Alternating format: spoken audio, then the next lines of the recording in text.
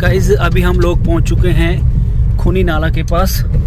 और मैं इस जब खूनी नाले के बारे में सुनता हूँ ना तो मुझे बहुत शिवरिंग सी हो जाती है। क्योंकि यहाँ के बहुत सारे किस्से सुने हैं मैंने तो उसकी वजह से थोड़ा बहुत डर लगता है मुझे। दिख रहा ना? हाँ दिख रहा है। अब ऐसे पहाड़ के नीचे उतर जाना रास्ते पे ही उतरना। गाइज़ बहुत सारी वीडियोस में मैंने देखा है सुना है कि यहाँ पे मैं बोलूँ या नहीं बोलूँ? मुझे डर भी लग रहा है लेकिन ये मैं मैं सुनाता हूँ शायद और मैं गलत होऊँगा आप मुझे करेक्ट कर देना। कि यहाँ पे ऐसा होता है कि जो डायरेक्शन से कोई आके दिखाता कि यहाँ पे अगर हमको हमें लेडी लेडी डायरेक्शन हाँ, दिखाती है। कोई भी लेडीज़ हो गया यार रास्ता है वैसे खुद भी उसी तरफ़ दिखता है तो बंदा रास्ते पे चला जाता है। ऊपर वाला खैर करे। यहाँ देखते हैं क्या होता है। यहाँ को बंदा गर्लफ्रेंड लेके आता है सूप लेके आता है। बंदी लेके आता है घूमता फिरता है आपको लेके कहाँ जाऊँ मैं? ये बताओ। अच्छा मतलब दोस्त से बढ़कर गर्लफ्रेंड हो गया मैं चलो अच्छी बात है। अलग बात होती है।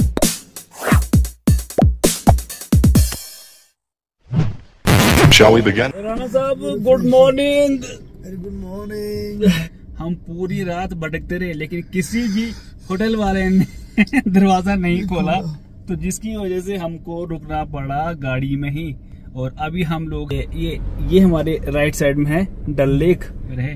तो अभी आठ बज चुके हैं। अभी हम निकलते हैं और एक नई जर्नी स्टार्ट करते हैं। गाइस जब से हम श्रीनगर में पहुँचे हैं रात से लेकर अभी तक कम से कम हमने दस चक्कर काट दिए हैं इस डल लेक के। कितनी सही रोड है। भाई साहब अपने गोल पे फोकस करो। झील के चक्कर मत कटवाओ मुझे। पंद्रहवा चक्कर चल रहा है अभी से। नहीं सच में मुझे समझ नहीं आ रहा क्या कर रहे हैं हम? कर क्या रहे हैं हम? जा किधर रहे हैं हम? खुद पहली बार इधर आ रहा हूँ। राणा जी हम जा किधर रहे हैं? ना आता ना पता बस दबे जा रहे हैं दबे जा रहे हैं चक्कर क्या है। को बंदा गर्लफ्रेंड लेके आता है लेके आता है। बंदी लेके आता है घूमता फिरता आपको लेके कहाँ जाऊँ मैं? ये बताओ। अच्छा मतलब दोस्त से बढ़कर गर्लफ्रेंड हो गया मैं रोड पे घूम रहे हो तरफ़ तर हो रहे हो? गर्लफ्रेंड गर्लफ्रेंड चाहिए चलो अच्छी बात है।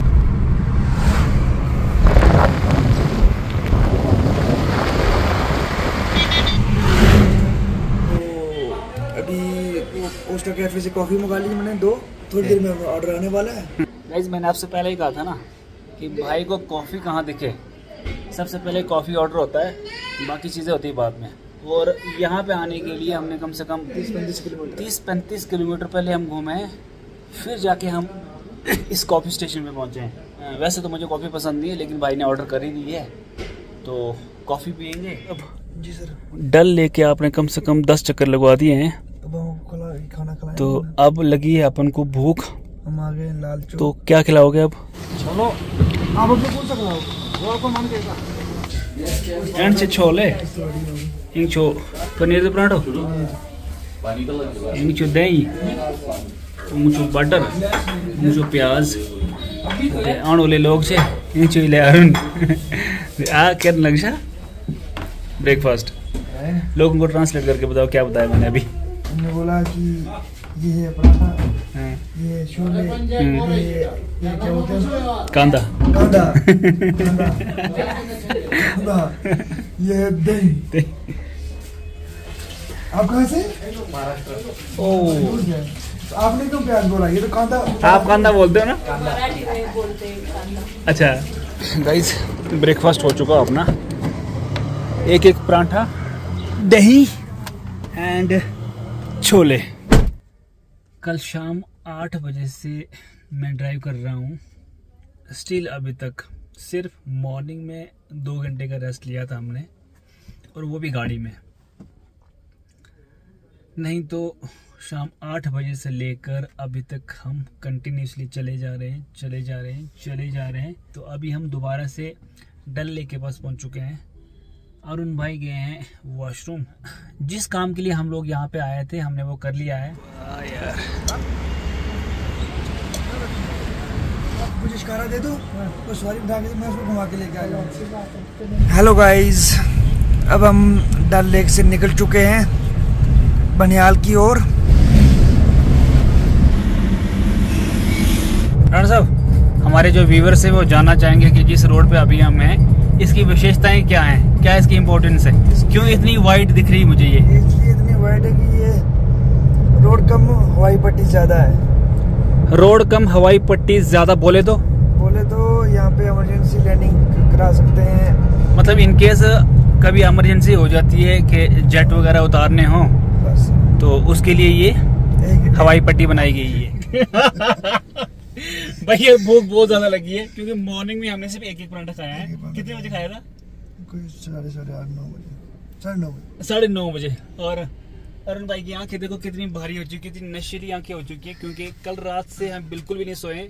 कल रात आठ बजे से हम कंटिन्यू ट्रैवल कर रहे हैं। दो सिर्फ़ दो घंटे सोए थे लेकिन वो सोना नहीं हुआ। अनंतनाग पहुँच चुके हैं गाइज़ खाना खा लेते हैं फिर आगे का सफ़र कंटिन्यू करते हैं। गाइज़ इस घर का जो डिज़ाइन है काफ़ी खूबसूरत है। लेकिन खूबसूरती के साथ साथ में इन्होंने एक गलत काम कर दिया है। जो है ये। ये जो आपको जो पिलर दिख रहा है ये पिलर नहीं बल्कि ये एक इलेक्ट्रिक पोल है, जिसको यूज़ किया गया है अपने घर में। तो मेरे ख्याल से ये गलत बात है। चलिए, कोई बात नहीं। इनका अपना मसला है। हम खा लेते हैं। खाना, जो जो बटर हम लेके आए थे वो कहाँ पे? ले आओ, यहाँ से वेस्ट हो जाएगा। नहीं, अब जो मज़ा यहाँ पे आएगा, वो उधर नहीं आएगा ना। उधर बटर ही बटर होता घर में अब जा रहे हैं तो बोलता हूँ तो बोलेगा ही।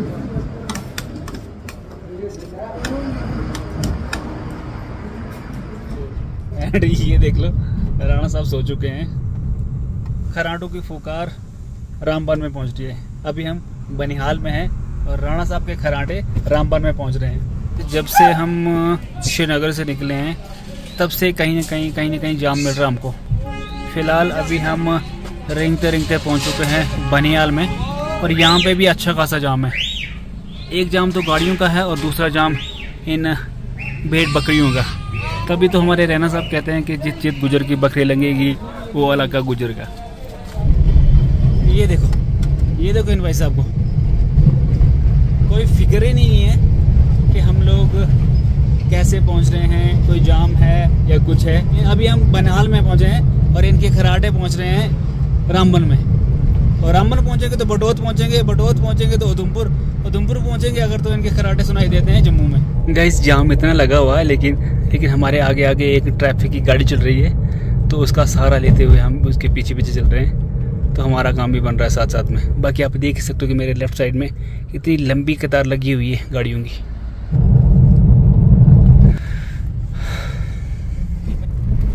जय माता दी। गाइस अभी हम लोग पहुँच चुके हैं खूनी नाला के पास।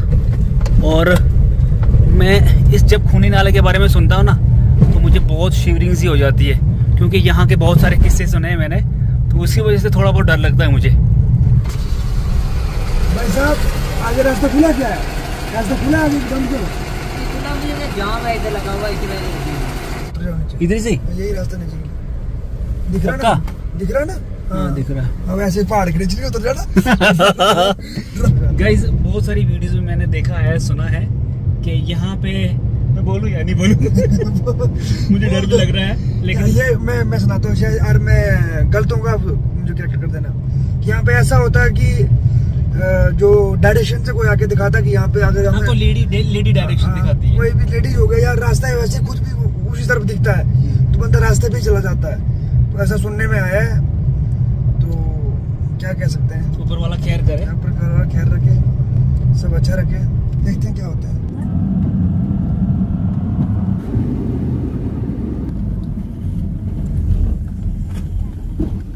जय माता दी गाइस कल साढ़े आठ बजे हमें अपने जर्नी स्टार्ट की थी और अभी बज रहे हैं साढ़े नौ। तकरीबन चौबीस घंटे से ऊपर हो चुका है। पच्चीस घंटे। ट्रैवल करते हुए हमें। ऐसे तो हमारा सफ़र मॉर्निंग में ही स्टार्ट हो गया था लेकिन व्लॉग की शुरुआत की थी हमने शाम साढ़े आठ बजे। मोटा मोटा क्या है मोटा मोटा गए हैं तो 38 घंटे से सैंतीस अठतीस घंटे से हम बिल्कुल ट्रेवल कर रहे हैं। अभी भी मुझे लगता है कि डेढ़ या दो घंटा लग जाएगा हमको घर पहुँचते पहुँचते ये भाई साहब खराटे मार रहे थे यहाँ पे।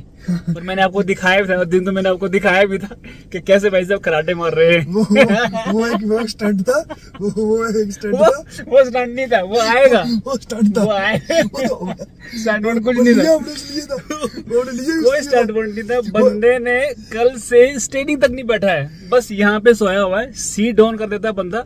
और खराटे इतने बजते हैं कि मत पूछिए। देखो चलो हम ऐसा करने वाले हैं। अभी हम पहुँच चुके हैं माता रानी के मंदिर में जो है अपने बटोत से थोड़ा सा आगे। जगह का नाम क्या कहते हैं यहाँ पे? बड़ी बड़ी बुड्ढी मड़ी हाँ बुड्ढी मड़ी में पहुँच चुके हैं हम।